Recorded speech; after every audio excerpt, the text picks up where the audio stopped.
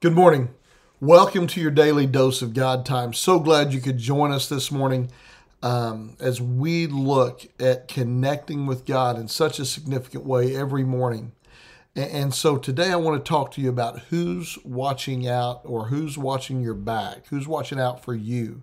Uh, this comes from uh, Rick Warren's great devotional on how the church meets your deepest needs. When you go on vacation, you probably ask a neighbor to look out after your house while you're gone. In fact, some communities even have neighborhood watch groups. But while your neighbors watch your stuff, who's watching out for your soul? Who in your life defends you, protects you, helps you stay on track? No matter who you are, you need people who will look out for you and warn you of spiritual, spiritual traps.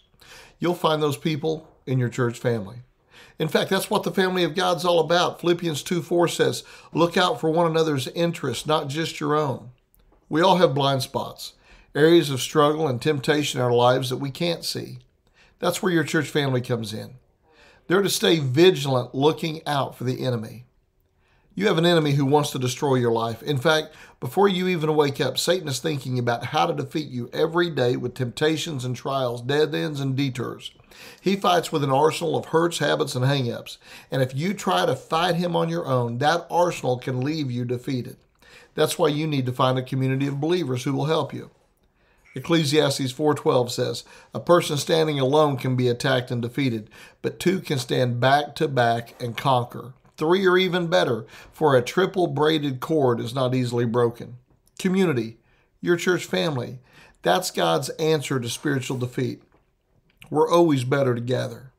Last night I had a group of uh, young men here that, that do our Wednesday night Bible studies and and or night before last. And uh, even as we even as we had those here, I asked them because it was our last one for the semester. I asked them the question. I said, uh, "Where are you today versus where were you at the beginning of the semester?" And man, it was so fun and heartwarming and just to hear story after story. We had some that said, Well, I started this year as an atheist and now I'm a believer. One says, Man, I didn't consider God at all and now I'm a follower of Jesus. Another one says, You know, I now have a group of people that I can do life with in a healthy way.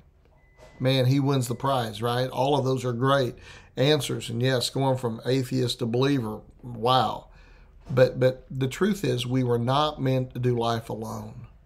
We weren't meant to do life alone. You need somebody to watch your back. And that's what we're to be to each other. And that's what I'm praying for you that you would watch one another's back and that you would be a part of a small group and part of a and part of a body of Christ that will love you enough to look out for your blind spots. Let me pray for you today, Father. Thank you so much for this day, for your grace, and for the peace that we offer in Jesus Christ. It's in your name that we pray, Jesus, asking you to have your way in our lives. Amen. Well, I hope that you have an incredible day. Love God. Love one another. Now go be salt and light.